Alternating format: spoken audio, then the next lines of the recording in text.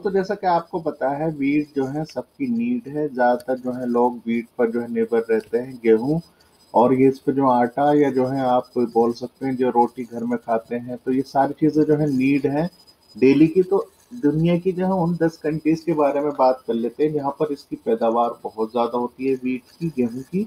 तो वो कौन कौन सी जो कंट्री है, इस वीडियो में यही बताने वाला हूँ तो प्लीज़ आप इस वीडियो को लास्ट तक देखते रहिए।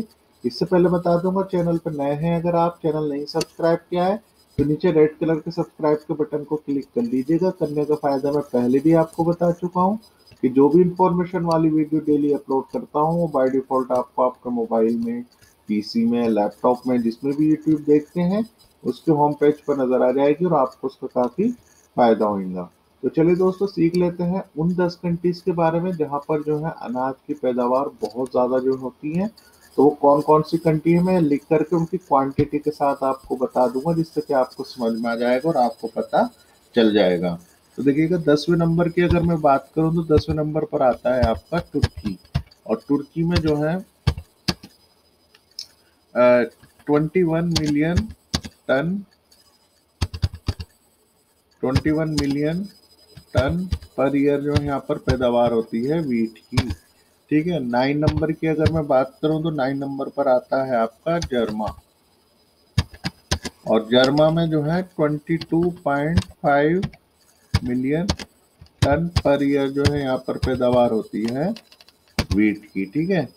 एट नंबर की अगर मैं बात करूँ तो एट नंबर पर आता है आपका पाकिस्तान। ठीक है, पाकिस्तान में जो है twenty three point six million ton per year के हिसाब से यहाँ पर पैदावार होती है। ठीक है सेवन नंबर की अगर मैं बात करूँ तो सेवन नंबर पर आता है आपका कनाडा और कनाडा में जो है twenty seven million ton per year के हिसाब से यहाँ पर पैदावार होती है, ठीक है? सिक्स नंबर पर जो आता है, वो आता है आपका ऑस्ट्रेलिया ऑस्ट्रेलिया में जो है thirty million ton per year के हिसाब से यहाँ पर पैदावार होती है, ठीक है? पाँच नंबर की अगर मैं बात करूँ तो पाँच नंबर पर आता है आपका फ्रांस। और फ्रांस में जो है forty point four million ton per year जो है यहाँ पर पैदावार होती है, ठीक है? और चार नंबर की अगर मैं बात करूँ तो चार नंबर पर आता है आपका रशिया। और रशिया में जो है 56 मिलियन टन पर ईयर के हिसाब से यहाँ पर पैदावार होती है, ठीक है? तीसरे नंबर की अगर मैं बात करूँ तो तीसरे नंबर पर आता है आपका यूएसए और यूएसए में जो है 61 मिलियन टन पर ईयर के हिसाब से यहाँ पर पैदावार होती है वीट की, ठीक है? दूसरे नंबर की अगर मैं बात करूँ दूसरे नंबर पर आता है आपका इंडिया।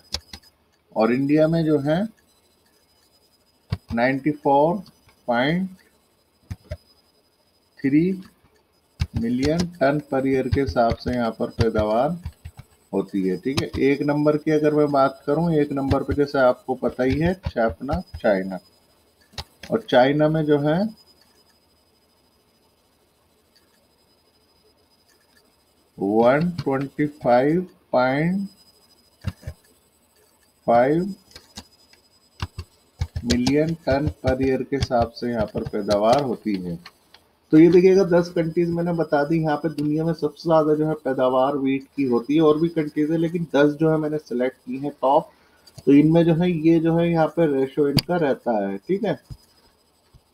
आई होप आपको समझ आ गया होगा दोस्तों, फिर भी कोई भी क्वेश्चन कोई भी क्यूरी इससे रिलेटेड या और कोई भी क्वेश्चन क्यूरी आपकी तो नीचे बॉक्स को कमेंट करके मुझसे पूछ सकते हैं, जिससे कि मैं उससे रिलेटेड वीडियो बना सकूँ और आपकी जो भी क्वेश्चन क्योरी हो, उसे मैं सॉल्व कर सकूँ।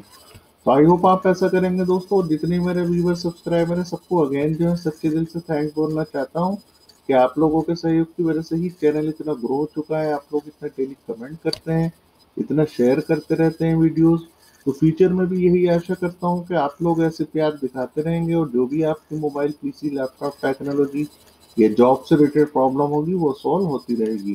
तो आई होप आप ऐसा करेंगे तो तो आप जो है फ्यूचर में भी ये जो है इस तरह से रिलेटेड जो भी आपकी प्रॉब्लम होगी, वो सॉल्व होती रहेगी।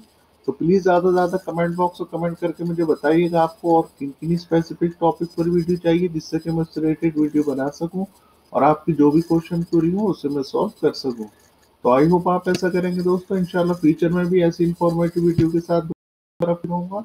बस आप लोगों का ऐसे प्यार चाहिए। तब तक के लिए दोस्तों, अल्लाह हाफिज़ bye bye have a nice